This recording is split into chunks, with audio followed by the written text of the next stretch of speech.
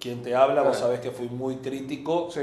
no al cobro de estacionamiento, porque de hecho votamos a favor en su momento, sino a la implementación, que Sí. realmente fue muy pobre, muy, muy pobre, y sigue siéndolo, sigue siéndolo. Hay un nivel de desconocimiento formidable eh, de cómo funciona el estacionamiento y demás. Y sabés que fui muy, muy crítico, de hecho me opuse, me opuse y critiqué este decreto anticonstitucional, porque está violando una norma sancionada por el, por el Consejo Deliberante que decía si en 90 días no arreglan lo del complejo histórico basilical, la norma cae. La norma cayó y hubo un decreto que interpreta, eh, violando la letra y violando el espíritu a la norma aprobada por el Consejo Deliberante. Por eso tenemos hoy un funcionamiento bastante pobre aquí, aquí en el centro.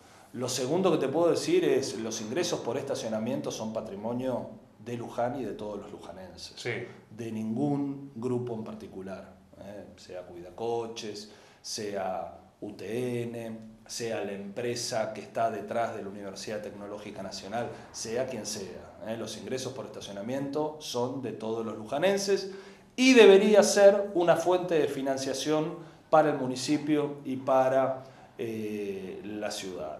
Ahora, entendiendo que la implementación tiene algunos costos, eh, que la implementación eh, requiere algunas inversiones y demás, eh, creo que fue un acto de torpeza fenomenal el no poder prever esto a la hora de implementarlo, ¿no? de que hay un grupo de 20, 25, 30 cuidacoches eh, que tienen algunos derechos adquiridos, que están hace décadas, que pueden ser muy criticados o no, pero algún, alguna, algún derecho adquirido tienen. Entonces, el no contemplar, el no poder abrir una mesa del diálogo, el no poder, el no poder resolver esto, habla a las claras, habla a las claras de la, de la incapacidad, de la falta de, de, de idoneidad cuando se implementó esto. Lo que recibimos ayer fue una propuesta, eh, yo pensé que era un convenio ya trabajado con el municipio, no, No. es simplemente una propuesta de la Asociación de, de, de Cuidacoches, vino Juan Grabois, ¿no? a, quien, a quien respeto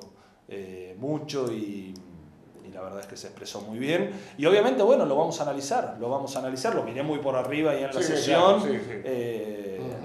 Tal cual, no, no, no hay grandes cambios con, en relación a lo de la UTN en cuanto a la distribución de recursos. El 60 obviamente eh, en este caso quedaría para los cuidacoches. En toda la zona del centro el 60% de los recaudados se lo lleva eh, la empresa de la UTN y el 40% solamente queda en el municipio. Pero después de pagar el fee mensual de 600 mil pesos.